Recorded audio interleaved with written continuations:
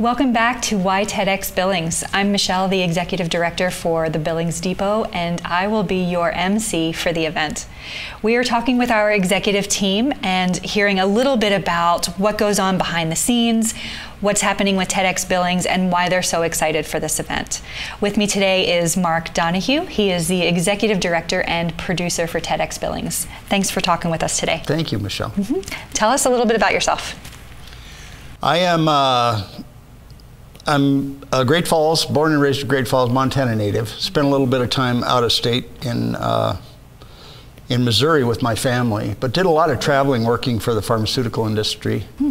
validating pharmaceutical manufacturing plants um, with a biology degree. So that's a little different from little what you're doing than, here today. Than what we're up to today, but mm -hmm. now we're now we have a, a, greater opportunity to do the things that we want to do rather than what we have to mm. do. Hmm. So, so, tell us a little bit about where we're sitting.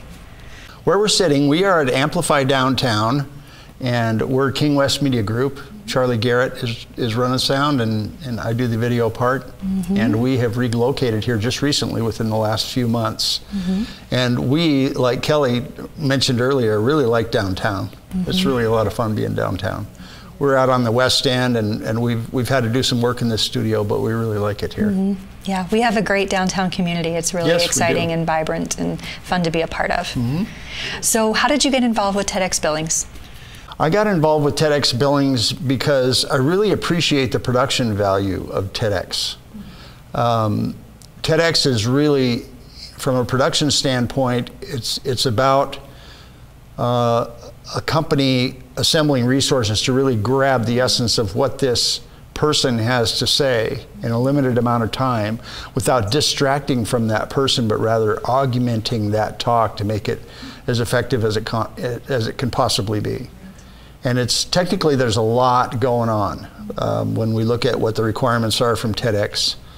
And, and, we'll be shooting it with six cameras, one of which will be a jib mm -hmm. at the Babcock and lit to the nines and and uh, really nice set mm-hmm. decoration. We're really looking forward to a premier event that's going to be uh, a lot more complicated than a typical outdoor live event or, or some of the other things that we're used to. So, what are you doing to prepare for this kind of large setup and execution? We're uh, our biggest challenge has to do with making sure that we have the appro- appropriate resolution and color depth in all of the cameras that are going to be uh, there. My understanding is that even though that we'll be switching the, the, the, program live, mm -hmm. like we're doing this, mm -hmm. uh, we'll, we'll also be recording each camera to a high color depth, which is going to involve significant amounts of recorders and mm -hmm. rented gear. Um, because TEDx wants to go in and have their team re-edit. Oh, interesting. The final, yeah. So they'll use our live switched version, and then they'll they'll have access to the raw footage of each camera, so that they can reconsider uh, and edit another version that that may be better than the live switched version. So TEDx Billings is taking place at the Babcock Theater. I assume that that means you have to work very closely with the Babcock and their staff there to make sure that all of this setup can take place and execute correctly? Yes, we will. We and uh, a lot of that is going to have to do with camera placement and lighting, mm -hmm. and set decoration. So yeah, they're they're going to be.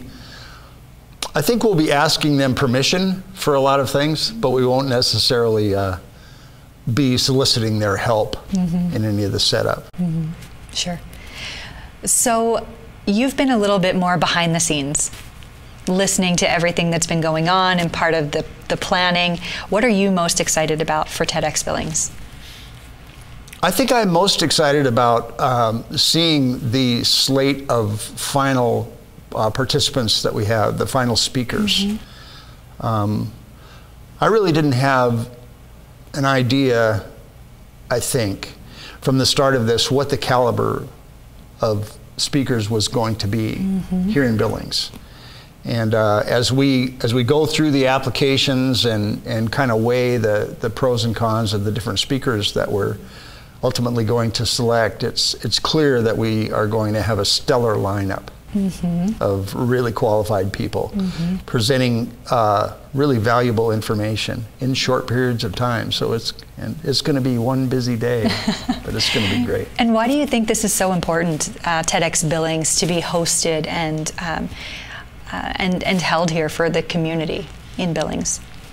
I think um, I think it when you see some of these TEDx talks, um, some of them coming from places like Australia and New Zealand and places mm-hmm. in Germany and that, I think it, it's kind of uh, an entryway into being a member city of a like a, a more of a worldwide focused kind of a group of people. Mm-hmm. So it, it from the speaker standpoint, it really helps them to significantly expand their reach. Mm-hmm. If their if their uh, subject matter is engaging and interesting, uh, they can really talk to a lot of people from the Babcock in Billings, Montana.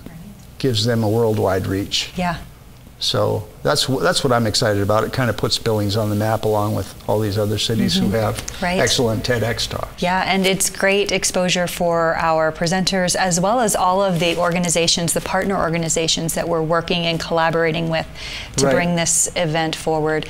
Um, I know there's the Babcock. Um, we've partnered with some other local companies, and Billings Community Foundation is helping with some tax write offs.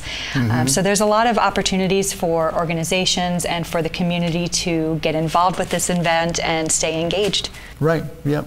Mm-hmm. There really is. And, and it's great. It's a great opportunity for everybody to meet uh, like minded individuals, too.